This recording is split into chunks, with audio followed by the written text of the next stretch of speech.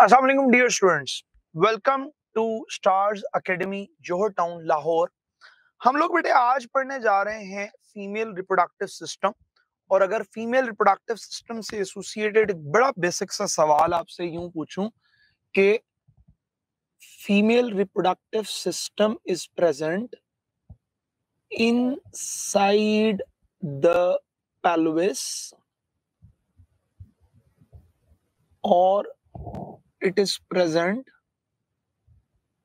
outside the pelvis ये inside the pelvis मौजूद होता है या आउटसाइड द पेल्विस मौजूद होता है yes it is completely present inside the pelvis ये completely आपके पास inside the pelvis मौजूद होंगे हम लोग ये बात पढ़ेंगे कि यूजली जब कभी आप फीमेल रिप्रोडक्टिव सिस्टम की बेटे बात करते हो तो फीमेल रिप्रोडक्टिव सिस्टम स्टार्ट होता है पेयर्ड ओवरीज से। These ovaries lead to oviduct.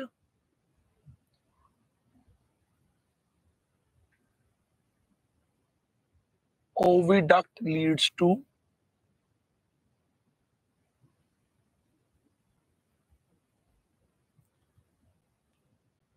uterus. Uterus leads to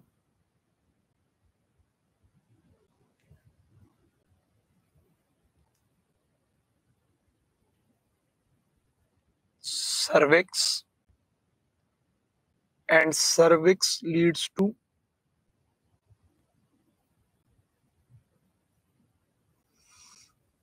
vagina हम लोग बेटे बात की करते हैं कि अगर आप ओवरीज ओविडक्ट यूट्रस सर्विक्स और वेजाइना को अगर हम ड्रॉ करें तो हम लोग ये कहेंगे कि भाई आपके पास बेटे यूँ स्ट्रक्चर्स मौजूद हैं जिनको हम ओवा का या ओवरी का नाम देते हैं। ये बेसिकली आपके पास यूँ आलमंड साइज्ड बॉडीज हैं और ये आपके पास कनेक्टेड हैं फिलोपियन ट्यूब्स के साथ। हम्म?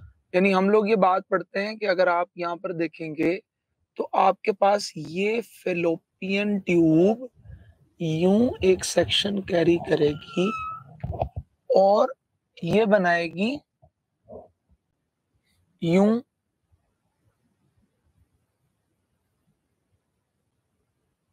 एक सेक्शन जिसको हम लोग बोलेंगे फंडस। मोर ओवर ये फॉर्म होगी बेटे यूट्रस और यूट्रस के साथ ये बनेगा सर्विक्स।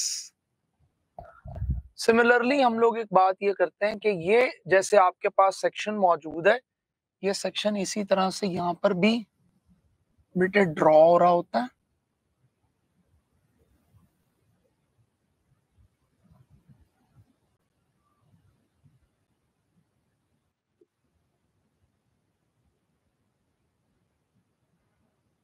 और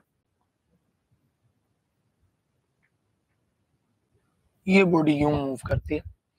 लेट सपोज़ बेटे हम लोग अगर बात यूँ करते हैं कि आपके पास ये एक पेयर्ड स्ट्रक्चर जो कि दोनों तरफ़ मौजूद होगा, जिसको हम लोग ओवरीज का नाम देते हैं।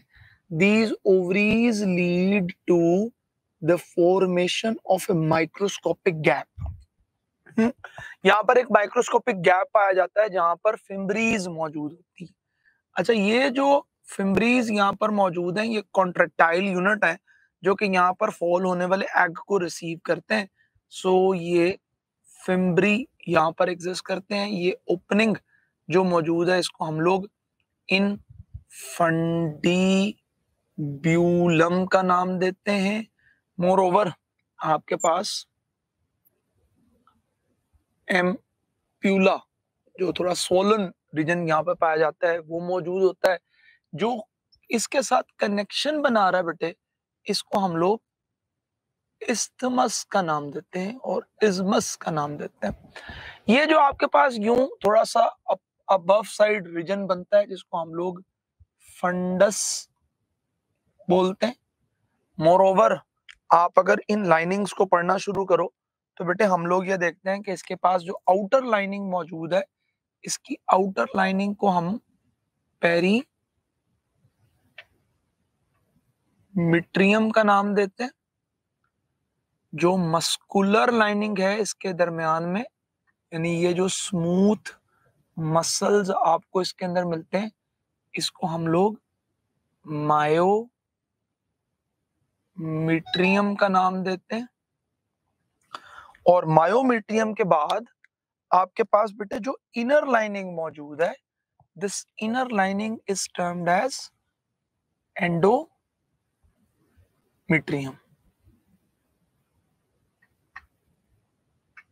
इसको आप एंडोमीट्रियम का नाम देते हो। बेटे हम लोग एक बात ये पढ़ रहे होते हैं कि अगर आप इसके बिल्कुल एंड टर्मिनल के ऊपर आओ तो ये आपके पास सर्विक्स बनाता है और ये सर्विक्स कैरी करती है टफेस्ट स्मूथ मसल आपकी बॉडी के टफेस्ट जो स्मूथ मसल्स हैं, वो आपके पास यहाँ पर मौजूद होते हैं। सबसे टफेस्ट स्मूथ मसल्स यहाँ पर एग्जिस्ट करते हैं।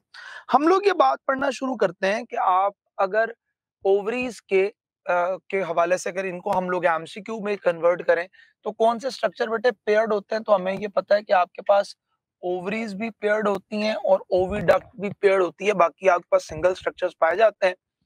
अगर बात बेटे ये की जाए कि ओवरीज क्या रोल प्ले करती हैं तो हम कहते हैं कि जी ये बेसिकली आपके पास प्राइमरी सेक्स ऑर्गन्स है। मुझे बेटे बताएँगे कि प्राइमरी सेक्स ऑर्गन्स क्या होते हैं? कौन से ऑर्गन्स को हम लोग प्राइमरी सेक्स ऑर्गन्स का नाम देते हैं?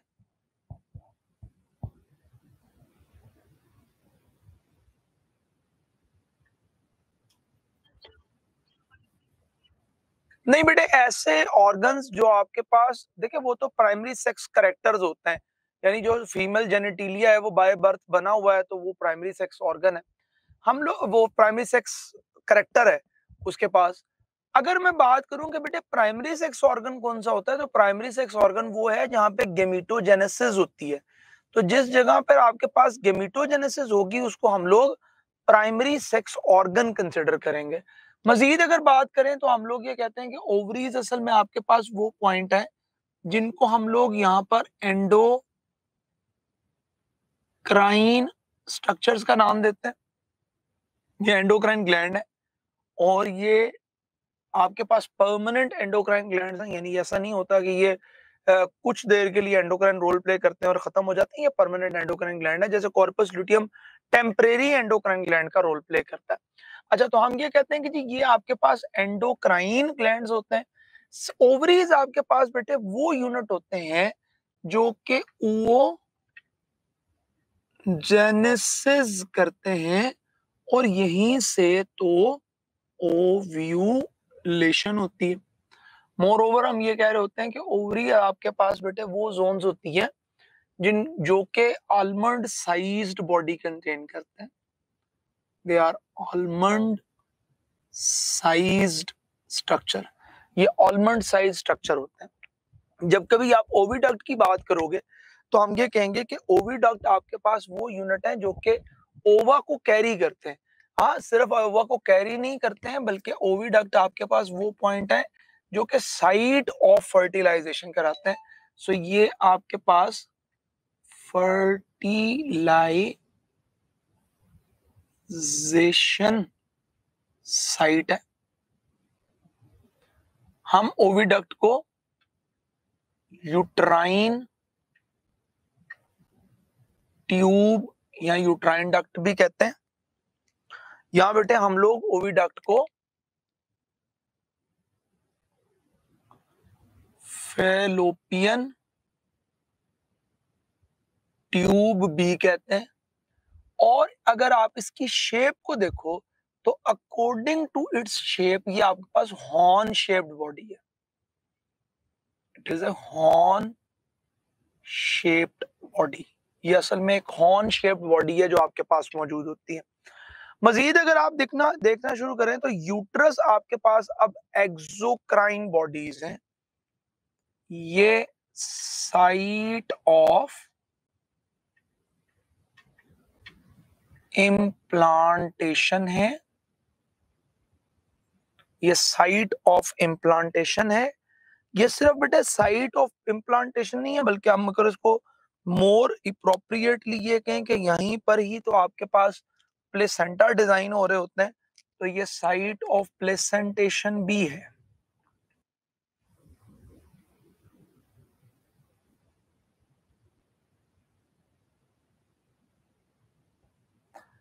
मजीद ये कि ये आपके पास एक एक्सो क्राइन स्ट्रक्चर का रोल भी प्ले करती है। और आपके पास यही वो मुकाम होता है जहाँ से जहाँ से एंडोमीट्रियम की शेडिंग होती है lead to menstruation endometrium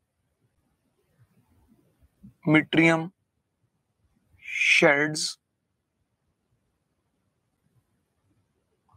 lead to menstruation ये मेंस्ट्रुएशन की तरफ़ जाएगा। फिर बेटे हम लोग ये बात पढ़े होते हैं कि जब कभी आप सर्विक्स की बात करोगे तो सर्विक्स आपके पास सबसे टफेस्ट मसल्स हैं और ये डेफिनेटली यूट्रस का आपके पास वो पोर्शन है जहाँ जहाँ से हम स्पर्म्स को रिसीव करते हैं। अगर आप बात करो बेटे विजाइना की तो विजाइना आपके पास वो सेक्शन है जिसको हम बर्थ कैनाल भी कहते हैं। और बेटे it is also named as site of insemination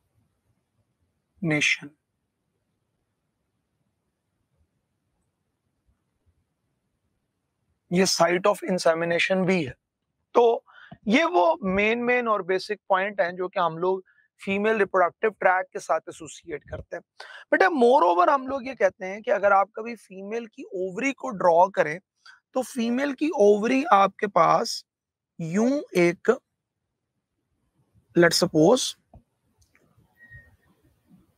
oval like structure आपके पास मौजूद है, जिसके अंदर ये प्राइमरी ओसाइट है। ये प्राइमरी ओसाइट फॉलिकल सेल्स से कवर्ड है।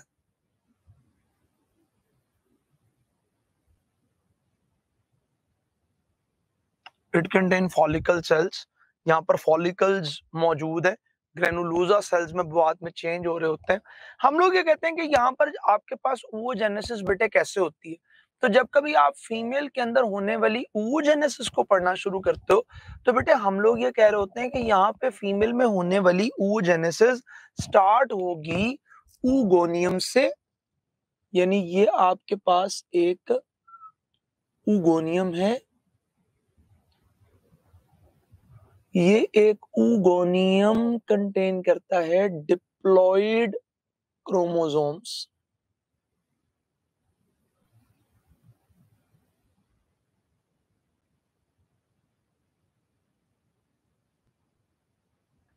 ये डिप्लॉयड क्रोमोसोम्स कैरी करता है। उसने कहा जी, ये जो डिप्लॉयड क्रोमोसोम कैरिंग ऊगोनियम है दिस ऊगोनियम अगर कभी एस फ़ेज़ से पास करे, हम एस फ़ेज़ को एक्सक्लूसिवली कह देते हैं, पर ना ये पूरे यहाँ पर डिवाइड भी कर सकते हैं, इनकी माइटोसिस भी हो सकती है।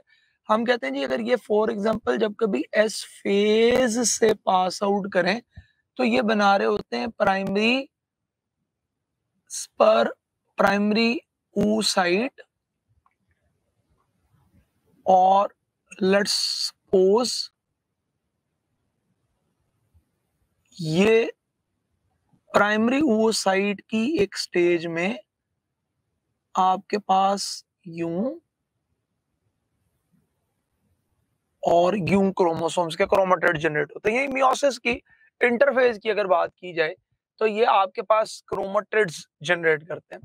जब कभी मेरे बेटे ये क्रोमेटिड्स जनरेट कर लेते हैं अपने जो सिस्टर क्रोमेटिड्स जनरेट करते हैं तो इन सिस्टर क्रोमेटिड्स की फॉर्म में फिर ये एक लॉन्ग फ़ेज़ से गुजरते हैं, जिसको हम लोग मियोसिस कहते हैं।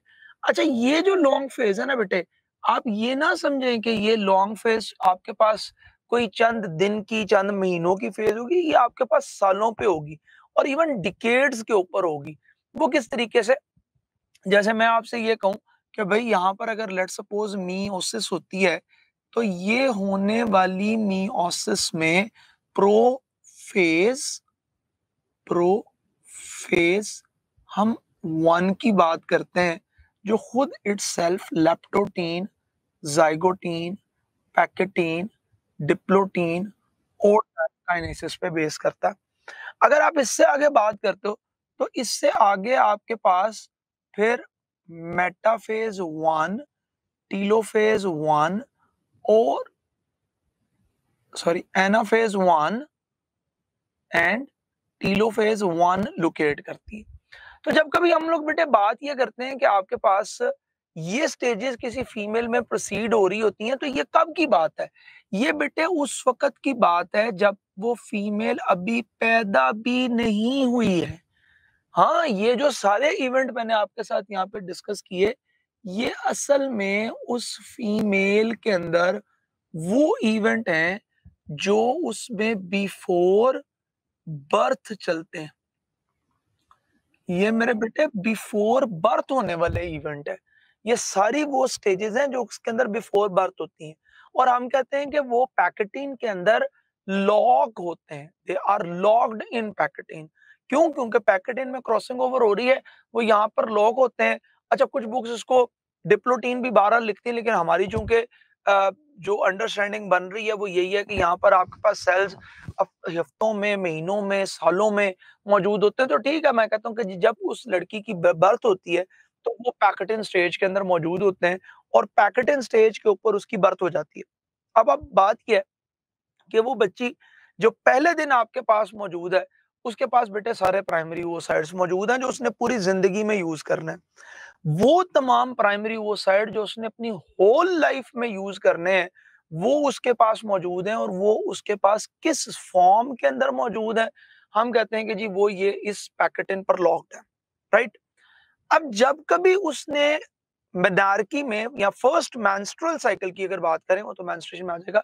अगर आप फ़र्स्ट मैंस्ट्रेशन मैंस्ट्रुअल साइकिल की बात करें उसने फ़र्स्ट मैंस्ट्रुअल साइकिल के अंदर एंटर होना है तो असल में उसने इस पैकेटीन को कन्वर्ट uh, करना है डिप्लोटीन में डायाकाइनेसिस में तो वो यहाँ पर तमाम सेल लॉक है और वो सेल यहाँ से कन्वर्ट होंगे towards to for the completion of rest of other stages Thank you.